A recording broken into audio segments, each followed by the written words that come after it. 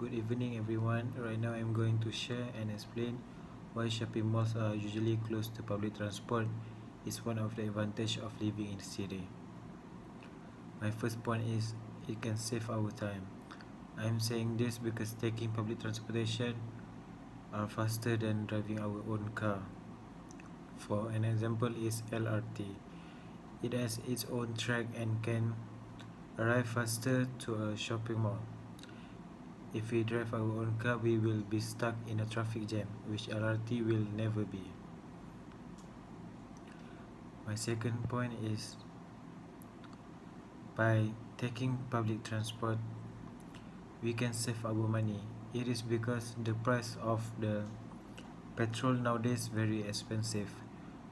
For an example, we need around 50 ringgit for the petrol just to go to the shopping mall from our house if we take public transport it is going to cost only around 10 ringgit to 15 ringgit.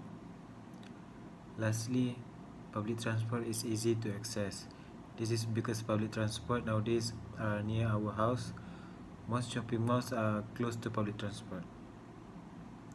And this really helps us on navigate our way to a shopping malls.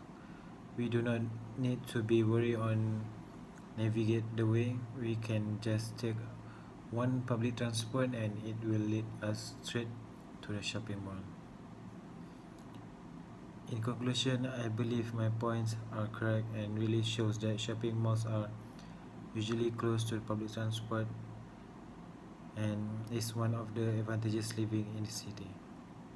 Thank you